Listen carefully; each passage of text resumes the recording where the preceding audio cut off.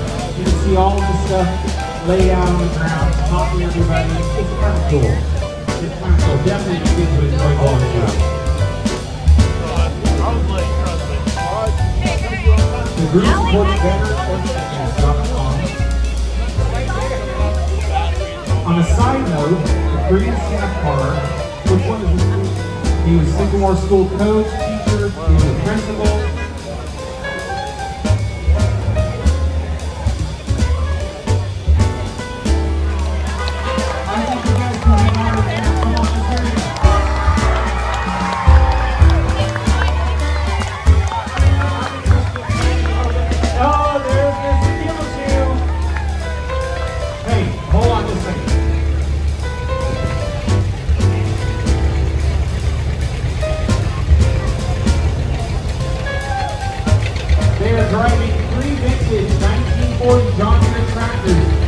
They are restored by Dax and Dustin. The young guy in the middle is Dustin. There we go. Todd in front, Dustin in the middle, Dax bringing up the end.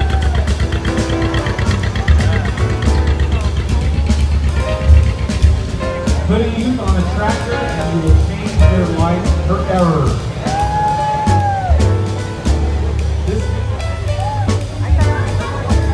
Who do we have here? Is this Roger Vanderman? He's driving his 1957 Chevy Bel Air convertible. It is all original. It has factory air. It's completely restored, restored by Murphy's Hot Rod. It is being driven by Tim Murphy of Murphy's Hot. He's waving me off. Hold on.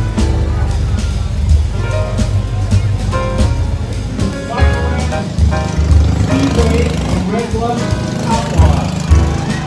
He wants to thank his sponsors today, WAC Electric, Radco Truck, Radco Truck, South Diane, Radco Trucking.